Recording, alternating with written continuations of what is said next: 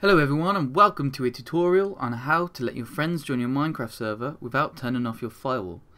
Now this is an updated tutorial because back in the day when I made the previous video lots of people over the years have commented saying it doesn't work for them and stuff like that and I've recently made a new Minecraft server and I had to fix this problem myself and this worked for me so I'm hoping it will work for you.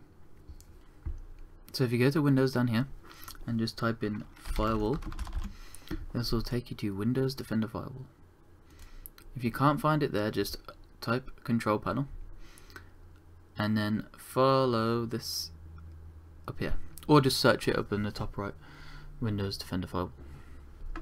Now, from here, just simply click Allow an app or feature through Windows Defender Firewall, and it will take you to the screen. And what you want to do is make sure the public box is checked for all of the Java platform SE binary ones. The reason I have so many is because I've got different versions of Minecraft like Tekkit and etc like that. So to do this just click change settings and make sure all of these on the just the Java only are checked and what this will do is allow people that are on a public internet you know, like a Hamachi or your port forward to be able to go through the firewall to connect to the server. Otherwise, it will just block them out, and that's why they can't even find the server or join.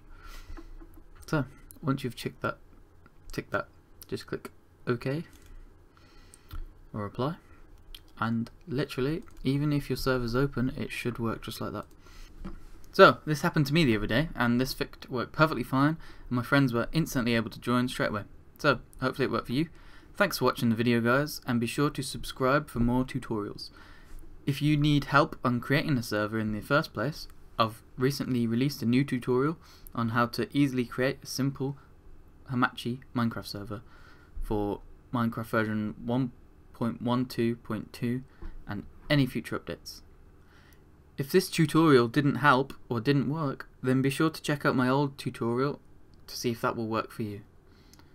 If not, just hit me up in the comments and I'll be sure to respond as fastly as I can. Thanks for watching guys. Goodbye.